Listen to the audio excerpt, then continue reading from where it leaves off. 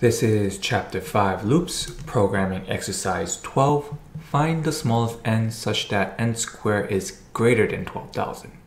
Use a while loop to find the smallest integer n such that n squared is greater than 12,000.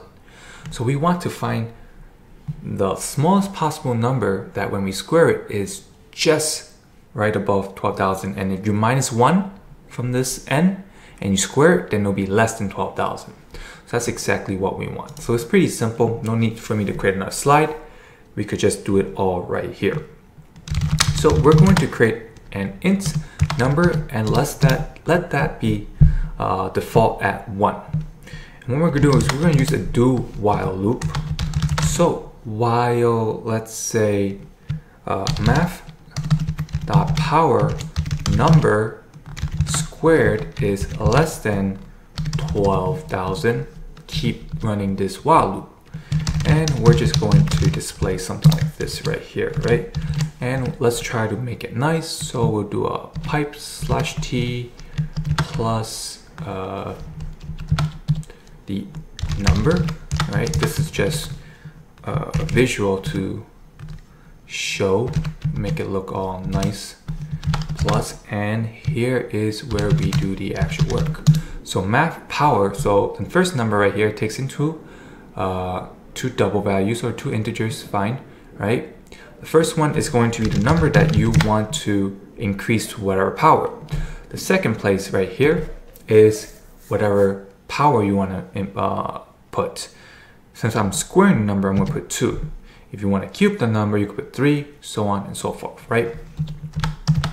Okay, and then slash t pipe.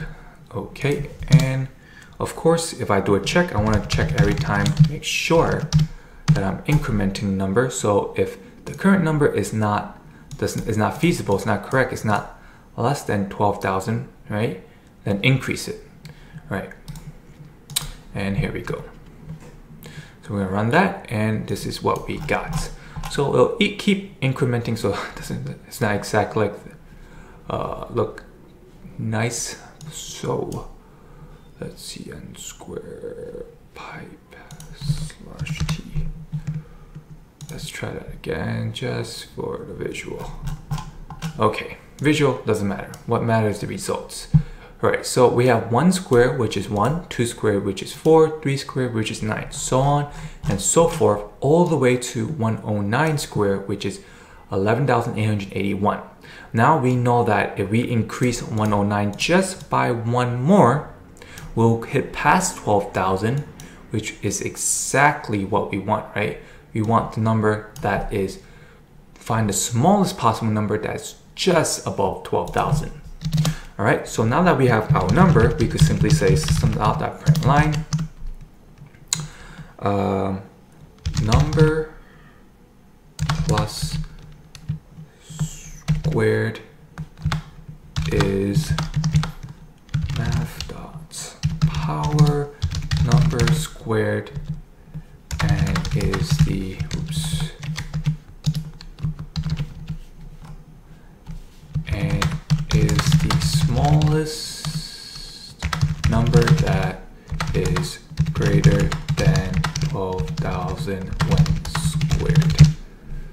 Okay, there we go. All right, so now increase 109 to 110. You square it, bam, we get 12,100, and that is the smallest number that's greater than 12,000 when squared. All right, and why do I have that? 0 plus n is blah, blah, blah. Smallest number. Why do I have n squared math dot power 12,000? Oh 12,000.0 because it's returning a, uh, a double value. So it's dot zero not because I enter a string dot zero. All right perfect. So 110 is our answer right? But the programming to do that is just simply using a while loop. Keep running it keep squaring it keep checking it and once you reach your result you could just increment it by one and you have your answer all that in less than five minutes.